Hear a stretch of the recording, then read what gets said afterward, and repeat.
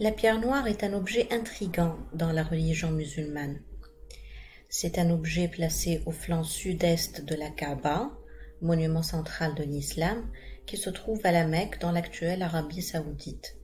Elle est enchâssée à une hauteur accessible aux pèlerins, à environ un mètre et demi au-dessus du sol, dans un cadre en argent. Les pèlerins qui visitent la Mecque doivent effectuer sept tours de circambulation autour de la Kaaba, qui commencent et finissent toujours à la hauteur de la pierre noire. À chaque tour, les pèlerins essayent de toucher ou d'embrasser la pierre, sinon ils tendent la main droite en sa direction. La croyance populaire dit que la pierre absorbe les péchés des pèlerins qui la touchent, et que, rentrés du pèlerinage, les pèlerins deviennent purs comme s'ils venaient de naître. La tradition musulmane offre différentes versions du mythe de l'origine de la pierre noire. Bien que l'islam avoue les origines païennes pré-islamiques de cette pierre noire, il la place quand même dans d'autres versions dans la tradition abrahamique des religions monothéistes. La pierre remonterait alors à l'époque d'Adam et Ève. À cette époque, elle aurait été envoyée du ciel par Dieu pour indiquer à Adam et Ève l'endroit où ériger l'autel de la Kaaba. D'autres récits suggèrent qu'Adam serait descendu sur terre en portant lui-même la pierre noire avec lui. Dans toutes ces versions, la pierre noire de la Kaaba est d'origine céleste. Selon la tradition musulmane, à la fois la pierre et la structure de la Kaaba existent depuis les débuts de l'humanité. La Kaaba aurait été détruite pendant le déluge, et à ce moment-là, la pierre aurait été ramenée du ciel par Dieu. Par la suite, lors de l'époque d'Abraham, qui aurait reconstruit l'autel, l'ange Gabriel l'aurait ramenée sur terre pour Abraham pour la replacer dans le temple de la Kaaba. Un hadith raconte que la pierre, lorsqu'elle est tombée du ciel, était une pierre blanche et qu'elle aurait noirci à cause des péchés des hommes.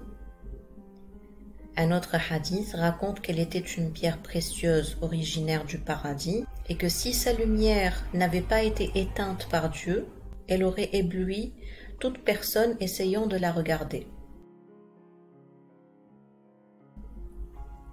Ainsi, les récits islamiques sont très divergents concernant la sacralité de la pierre noire. Il est clair d'après les textes et les hadiths qu'à un moment donné de l'histoire de l'islam, il y a eu des débats théologiques énonçant des réserves concernant la vénération de ce caillou. La pratique qui semble clairement avoir des origines païennes dérange l'exégèse, et les textes théologiques tendent parfois à fournir des justifications pour cette pratique sacrée, même si elle suscite encore des doutes, alors que le monothéisme est supposé s'opposer à l'adoration des idoles. On attribue par exemple à Omar, le deuxième calife bien guidé qui a succédé au prophète, qu'il s'était dirigé vers la pierre noire, l'a embrassée et lui a dit Je sais que tu es une pierre qui ne nuit ni ne profite, et si je n'avais pas vu le prophète que les prières de Dieu et que la paix soit sur lui t'embrasser, je ne l'aurais pas fait. Ce récit révèle une gêne certaine et une tentative de justification. Il est plausible que l'islam primitif, sous les critiques émanant d'autres monothéismes de la région, ait progressivement ressenti des réserves à l'égard de la vénération de la pierre noire, et n'ayant pas réussi à supprimer le rituel, il a cherché à minimiser son importance en recourant à ce type de justification.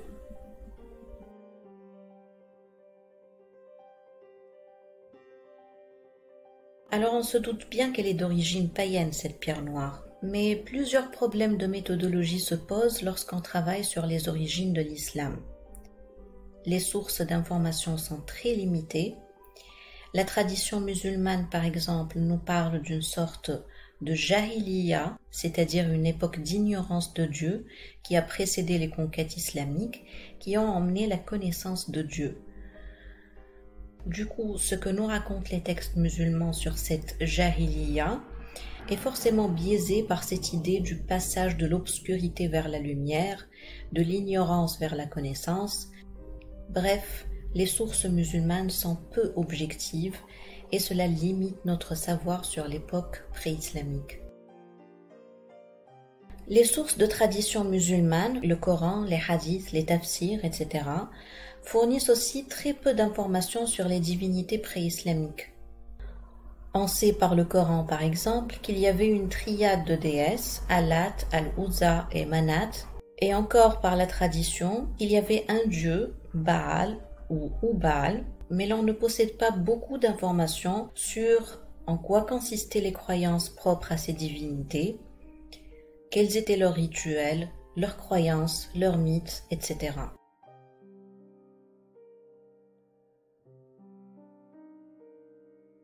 Les dieux cités dans la tradition musulmane étaient d'ailleurs des dieux plutôt populaires dans la région nabatéenne et levantine, et non pas dans le désert du Hijaz, où il n'y a que très peu de traces archéologiques et d'activités humaines dans une région extrêmement aride. ce qui amène un autre problème de taille. La civilisation pré-islamique de la Jahiliya n'existe que dans l'imaginaire et dans la littérature islamique et n'a pas de manifestation matérielle qui peut confirmer son existence. On n'a aucun artefact, aucune arme, vêtement, bout de céramique ou piquet de tente de cette civilisation pré-islamique dite Jahiliya. Plus encore, comme les découvertes des dernières décennies l'ont montré, la Mecque ne figurait même pas sur les cartes géographiques et demeure absente de toute mention dans les sources littéraires et épigraphiques, et ce jusqu'au IXe siècle, soit deux siècles après l'apparition de l'islam. Ceci amène à une conviction dans le monde de la recherche que la jahiliya n'est qu'une invention littéraire tardive dans la littérature islamique et que l'islam n'est pas apparu dans la Mecque actuelle au désert du Hijaz, là où il y a peu de chances dans une région extrêmement aride et dépeuplée qu'une civilisation capable de battre les plus grands empires de l'époque, l'empire perse et byzantin, ait pu prendre naissance. Et cette théorie est de plus en plus populaire, surtout qu'elle se base sur des arguments solides D'abord, l'absence de la Mecque des cartes et des mentions textuelles. Il y a aussi plusieurs études de Patricia Krohn, dont une étude importante sur la géographie, la faune et la flore de la supposée Mecque décrite dans le texte coranique.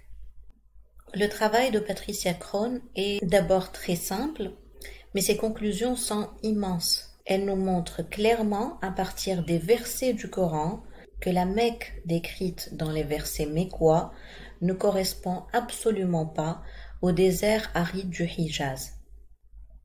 Les versets mécois nous parlent de champs de vignes, de grenadiers, de champs de blé, d'oliviers, nous parlent de poissons frais, de produits de la mer, de vaches, d'élevage, bref, tout ce qui ne peut correspondre au désert aride de la Mecque. En fait, le monde de la recherche tend aujourd'hui à croire que l'islam n'est pas apparu dans cette bande désertique du Hijaz, mais plus haut sur la carte, plutôt dans la région du Proche-Orient, à cause de plusieurs arguments. Patricia Krohn, par exemple, tilte surtout sur les oliviers décrits dans le Coran, et elle dit que la plantation d'oliviers est plutôt propre à la Méditerranée. Nous avons aussi une autre étude de Krohn qui fait une démonstration par l'absurde que le commerce caravanier de chameaux à travers le désert qui est décrit dans la tradition musulmane comme étant la source de richesse de la Mecque ne peut exister au 7e siècle. À cette époque, le commerce entre le Yémen et Byzance se faisait simplement par voie maritime, ce qui était beaucoup plus rapide et beaucoup plus rentable le transport de la marchandise par voie terrestre à travers le désert aride rend la marchandise à l'arrivée beaucoup trop chère pour faire de la concurrence. D'autres arguments s'ajoutent à la théorie de la naissance de l'islam plutôt au Proche-Orient, comme celle de l'écriture arabe du Coran, qui est une écriture développée à partir du nabatéen, le nabatéen pratiqué en nabaté, plutôt dans la région du Proche-Orient, alors que l'écriture adoptée au Hijaz, dans la région de la Mecque, était plutôt le samoudique, qui ressemble plutôt à ça. C'est-à-dire rien à voir avec l'arabe du Nord, qui est la langue du Coran. D'autres études, comme celle de Christophe Luxemburg, montrent la grande influence syro-araméenne sur la langue du Coran. Or, l'araméen et le syriaque étaient aussi pratiqués au Proche-Orient et pas du tout dans le désert du Hijaz. Et il y a encore le travail de Dan Gibson qui fait une étude sur les anciennes Qibla, c'est-à-dire la direction de prière des musulmans des premiers siècles, et il découvre que les anciennes Qibla des premiers siècles de l'islam étaient plutôt dirigées vers la région de Petra plutôt que vers le désert arabique du Hijaz. Tous ces arguments réunis et bien d'autres encore font pencher vers une origine proche-orientale de l'islam qui ne serait pas né chez des bédouins inconnus du désert, mais plutôt au centre de l'action du monde antique, dans la région charnière entre les plus grands empires de l'époque, c'est-à-dire l'Empire perse et l'Empire byzantin.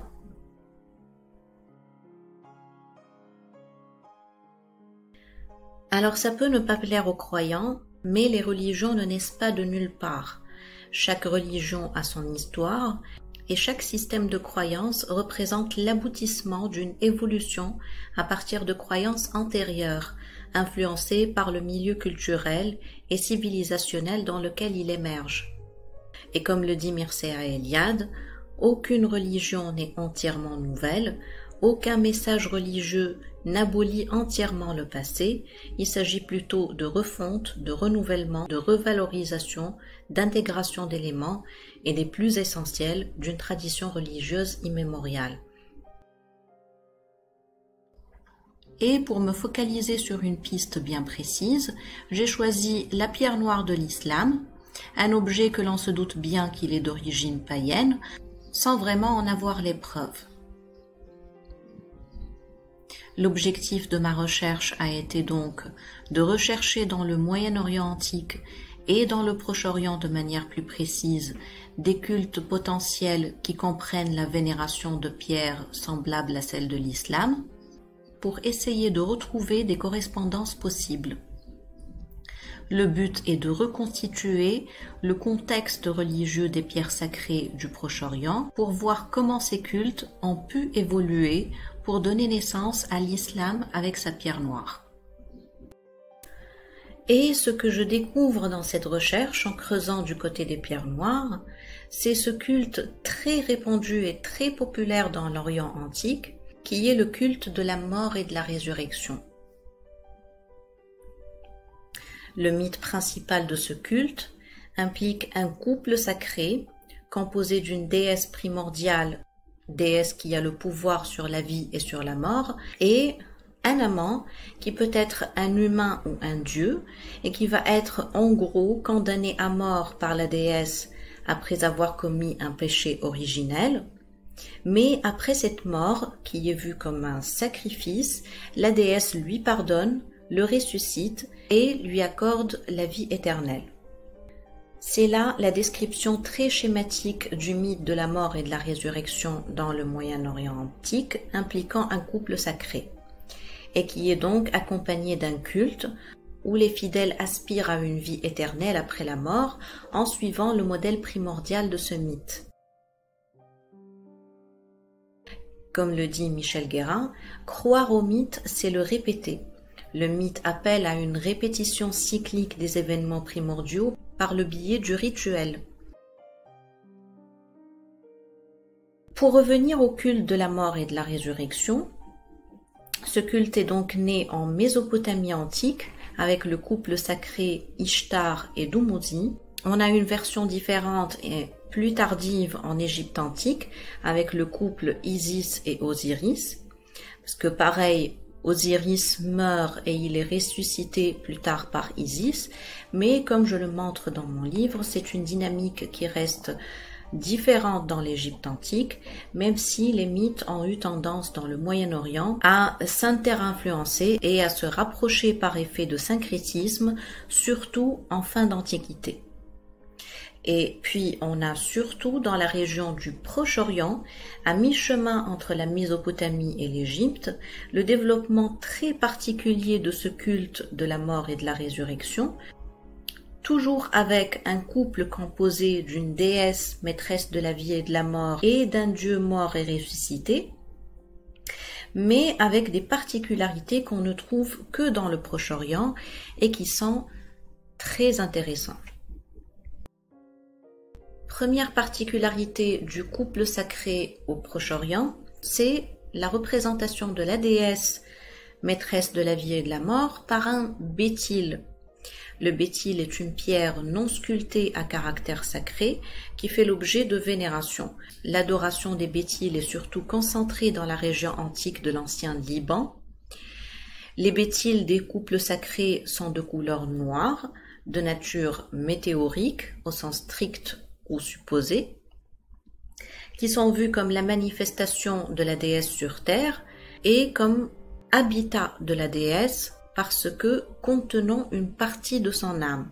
C'est une représentation aniconique, une image non sculptée de la déesse, et c'est un objet d'une extrême sacralité placé dans son temple central et vénéré par les fidèles. Avec cette idée, on a le début de l'idée de l'aniconisme du Dieu qu'on va retrouver plus tard, non seulement avec le judaïsme, mais aussi avec l'islam. Et cette idée est née bien avant dans le Proche-Orient, dans ces religions cananéennes de la déesse Pierre Noire. Deuxième caractéristique du couple sacré au Proche-Orient, c'est l'intervention d'un sanglier dans la mort du Dieu mort et ressuscité, ce qui va amener les populations du Proche-Orient à s'abstenir de manger la viande de porc, puisque l'animal est désormais assimilé à la mort. Cette idée, on va la retrouver évidemment plus tard dans le judaïsme et dans l'islam, l'interdiction alimentaire de la viande de porc, mais il faut savoir qu'elle était installée bien avant dans la région où le porc ou le sanglier était le symbole de la mort. Troisième caractéristique du couple sacré au Proche-Orient, c'est que le dieu mort et ressuscité du couple, qui est le compagnon de la déesse Pierre Noire, est un dieu castré, Parfois, sa mort arrive par castration. Parfois, il est né castré, mais dans la plupart du temps, il est castré par la déesse pour avoir commis un péché originel qui consiste à la trahison de la déesse avec une autre femme. Et comme nous l'avons déjà vu, croire au mythe, c'est le répéter, et nous avons toute une caste de prêtres liés à la déesse Pierre Noire qui se font autocastrer pour des raisons religieuses en répétition à l'épisode primordial du mythe du dieu castré, et ce dans le but d'obtenir la grâce de la déesse et la vie éternelle qu'elle a accordée au dieu mort et ressuscité après sa résurrection. Ce rituel religieux de l'autocastration des prêtres de la déesse Pierre Noire s'est progressivement adouci et s'est transformé dans les derniers siècles de l'Antiquité en la pratique de la circoncision.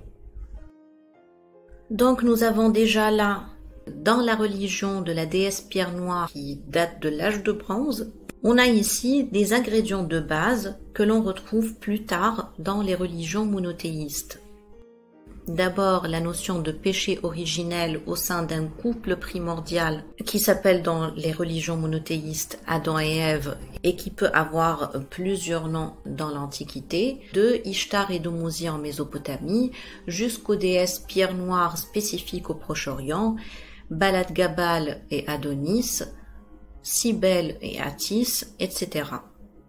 On a aussi l'idée de l'aniconisme de la déesse représentée par une pierre non sculptée que l'on retrouve plus tard dans l'Ancien Testament et dans l'Islam dans la prescription de ne pas euh, faire d'image sculptée.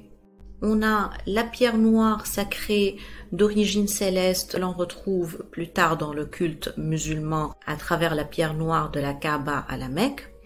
On a l'interdiction alimentaire de la viande de porc qui est justifié dans les mythes anciens l'association de l'animal à la mort, mais qui n'a pas vraiment d'explication dans les religions monothéistes, que ce soit le judaïsme ou l'islam.